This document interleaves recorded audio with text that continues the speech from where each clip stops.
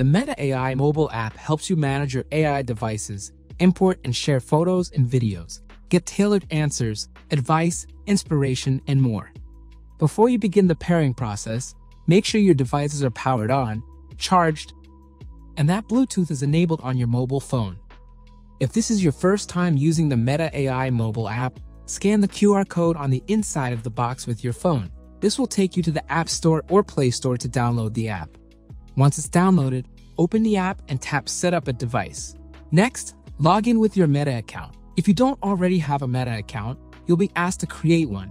You can create a Meta account using your email, Facebook, or Instagram. Navigate to Add Device. Tap Meta Ray-Ban display with Meta Neural Band, then follow the on-screen instructions to continue pairing. If you already have the Meta AI mobile app, you could still scan the QR code on the inside of the box. This will take you to the setup screen in the app to pair your devices.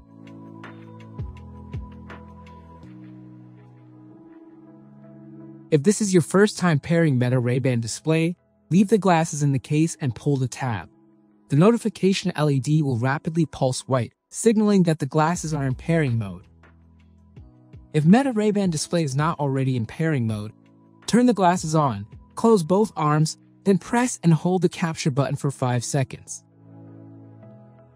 Release the capture button when the notification LED starts rapidly pulsing white. This indicates the glasses are in pairing mode. Put on the glasses and follow the on-screen instructions to finish pairing your device.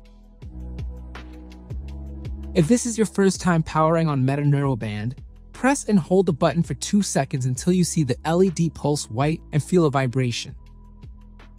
The band will enter pairing mode automatically, which is indicated by the LED beginning to rapidly pulse white. If Meta Neural Band is not already in pairing mode, press and hold the button for 3 seconds until the LED flashes white. Follow the on-screen instructions to finish pairing your device. If needed, you can pair each device separately.